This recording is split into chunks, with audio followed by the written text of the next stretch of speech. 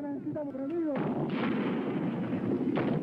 Dice que necesita municiones. Colocado casa, prendido, prendido.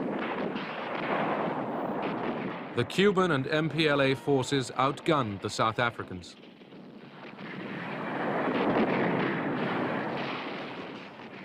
They were shot very badly.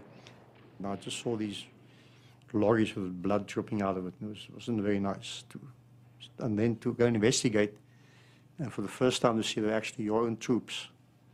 Uh, it wasn't very nice at all. They left everything on the field men, vehicles, weapons. It was a great victory over the South Africans. South African and American hopes of a quick victory over the MPLA were crushed. Washington was running out of options.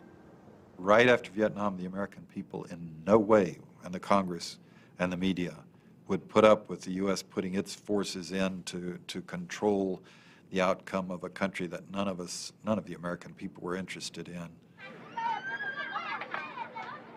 The administration fell back on the CIA.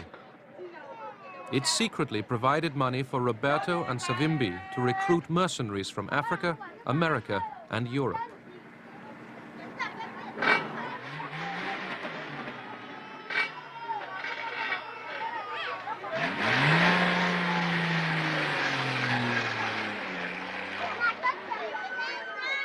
We did kill when we had no particular reason to.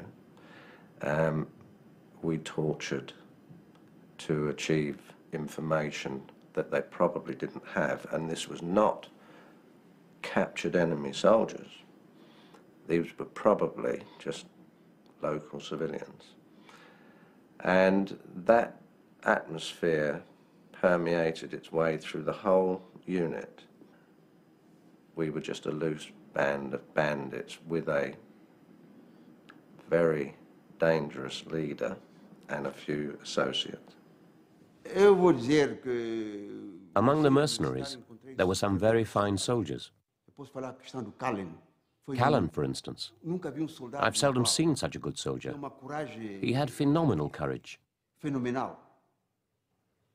He was a psychopath, a raving psychopath, and a couple of men right near him were psychopaths. Thirteen mercenaries were captured by the MPLA and put on trial. Callan and three others were executed. The CIA was still active.